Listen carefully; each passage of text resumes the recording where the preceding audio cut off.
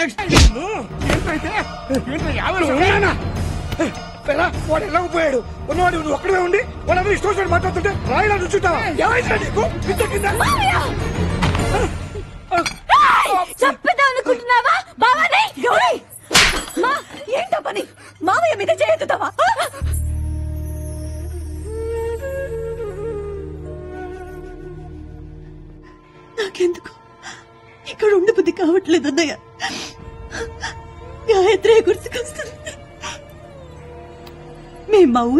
ఊరికి నాన్న. చావు జరిగిన ఇంట్లో సంవత్సరం లోపల ఏదైనా శుభకార్యం జరిగితే ఆ పుణ్యం అంతా చచ్చిపోయిన వాళ్ళకి దక్కుతుందంటారు. మంచి ముహూర్తం చూసి గౌరికి రామకృష్ణకి మా ఇంట్లోనే పెళ్ళి చేసేస్తే మంచిదని నేను అనుకుంటున్నాను. నువ్వు కూడా ఆలోచించన్నయ్యా రండి అంకుల్ రండి. టైం అవుతుంది కోర్టుకు వెళ్ళాలి ఇవాళ ఫైనల్ జడ్జ్మెంట్ కదా? కోర్టుకు పెడితే మాత్రం ఏం ప్రయోజనం అమ్మా? అక్కడ న్యాయం జరుగుతుందన్న ఆశ మాకు లేదు. ఇదంతా మా కర్మ.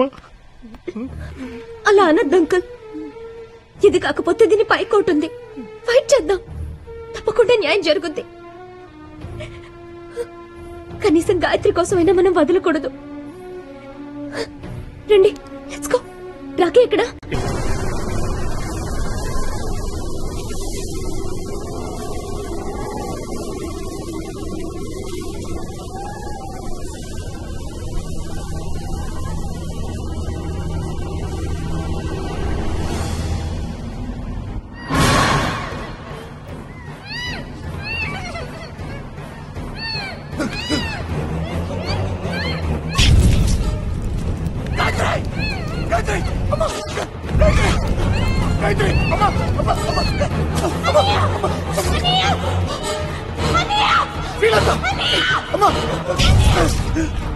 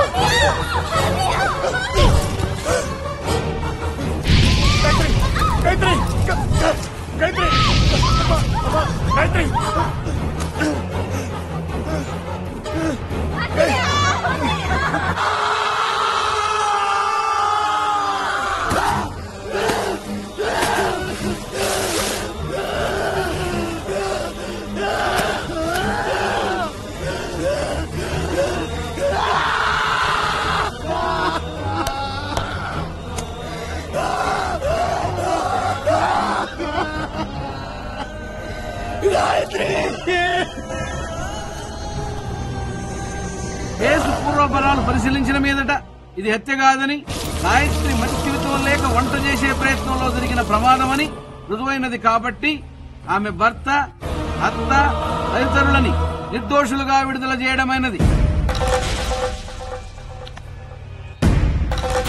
కేసు కథం చేసే కదా మళ్ళా షాదీ చేసుకుని జబ్బు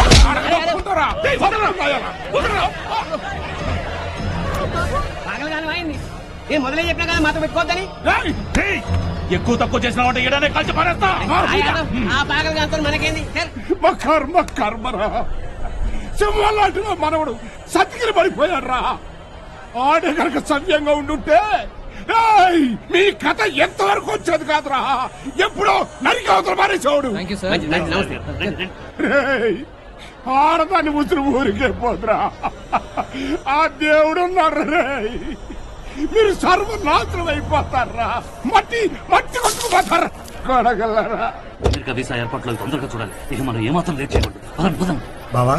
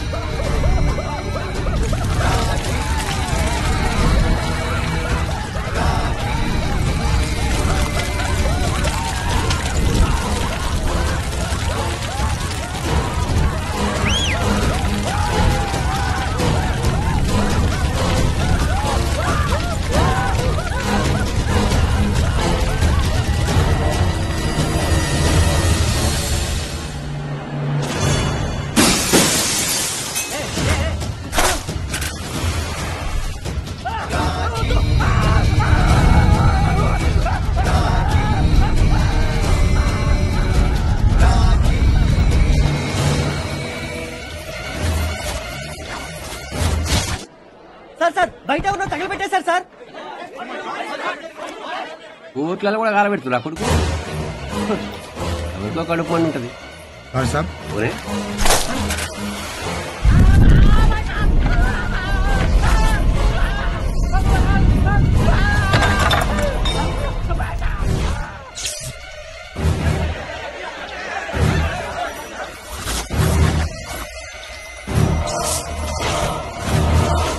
అరే ఏమైందిరా?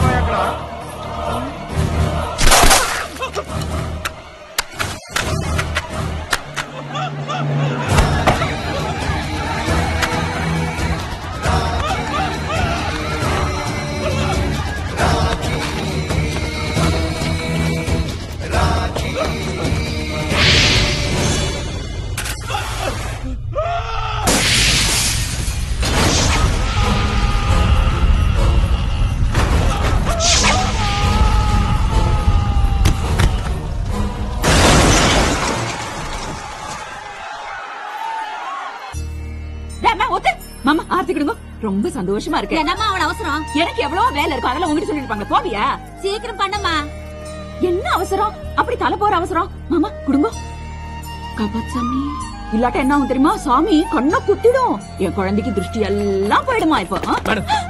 ఏంటయ్యా నన్ను అరెస్ట్ చేయడానికి వచ్చారా ఆల్మోస్ట్ అలాంటిదే మేడం రెండు గంటల నుంచి కమిషనర్ గారు పానిక్ అయిపోతున్నారు బాబు ఏయ్ నా బాబు ఈ ఎక్స్ట్రాలొద్దు కమిషనర్ గారు లైన్ లో ఉన్నారు మేడం అదే వేరే ఆఫీసర్ ఎస్ పది నిమిషాలు వచ్చేస్తాను ఎస్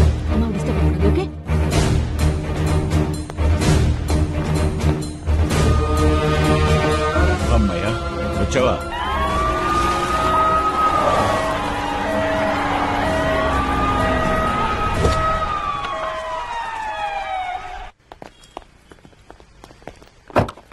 త్రిపుర కోర్టులో మటర్ సరిగేట ఇప్పుడే ఫోన్ వచ్చింది మేము బయలుదేరుతున్నాం. నువ్వు వస్తున్నావా? ఏ, ఉండు బే త్రిపుర. ఒరే నీ ఇంకే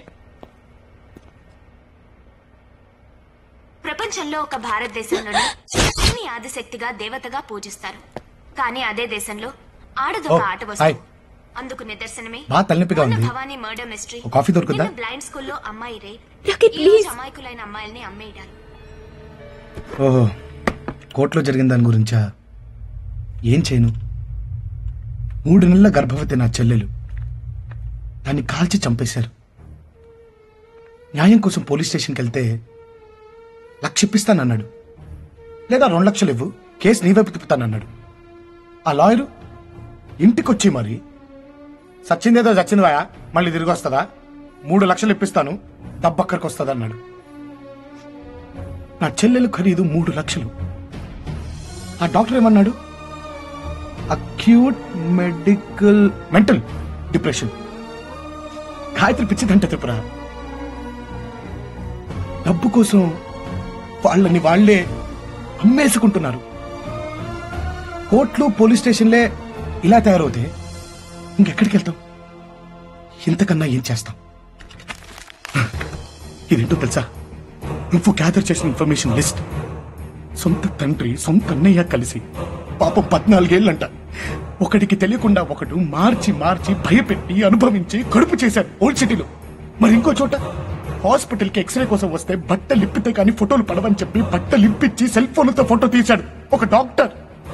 Gastroenterologist America return lady పేషెంట్లతో ఆడుకుంటున్నాడు. మరి వాడికే పోయే కాలం. ఉన్న భార్యను చంపేసి ఇంకో పెళ్ళి చేసుకుని దాన్ని కూడా టార్చర్ పెడుతున్నాడు. ఒక ఐఏఎస్ ఆఫీసర్. అరే పెళ్ళాన్ని తగలెట్టేసిన వాడు ఒకడు ట్యూషన్కి ఇంటికి వస్తే అమ్మాయిని మాయం చేసిన ఒక లెక్చరర్. టెన్త్ క్లాస్ అమ్మాయి త్రిపుర. లొంగకపోతే ఎగ్జామ్లో ఫెయిల్ చేస్తానన్న ఒక మాస్టర్. పల్లెటూరు నుంచి సిటీకి వచ్చిన అమ్మాయిని బ్రోతలోజులకు కమ్మేస్తున్న. ఒక ఆటో డ్రైవర్ మరి అదే అమ్మాయిని బాంబేకి ఢిల్లీకి కాల్కటాకి అమ్మేస్తున్న. ఒక కార్పొరేటర్. చాలా మంది రాక్షసులు ఉన్నారు త్రిపుర. చిన్న చిన్న పిల్లలు ఉన్నారు. చాలా మంది గాయత్రులు ఉన్నారు. నువ్వు మాట అడిగా గుర్తుందా? నాకు గాయత్రికి నువ్వున్నావరా కానీ వీళ్ళకి ఎవరున్నారు అని. అప్పుడు నీ అర్థం తక్కాలే త్రిపుర. వీళ్ళకెవరున్నారు లేనే ధైర్యంతో అడవి తున్నల్లా పిచ్చి పట్టిన కుక్కల్లా రెచ్చిపోతున్న ఈ కొడుకులకి ఎవడో ఒకడు సమాధానం చెప్పాలి. కానీ ఎవడు చెప్తున్నాడు? నువ్వు టీవీలో చూపిస్తే ఫ్రీగా కూర్చుని చూసి ఎంజాయ్ చేస్తున్నారు జనం. ఇట్ ఈస్ జస్ట్ ఎంటర్టైన్మెంట్ అందుకే అందుకే నేను సమాధానం చెప్తాను. చెప్తాను.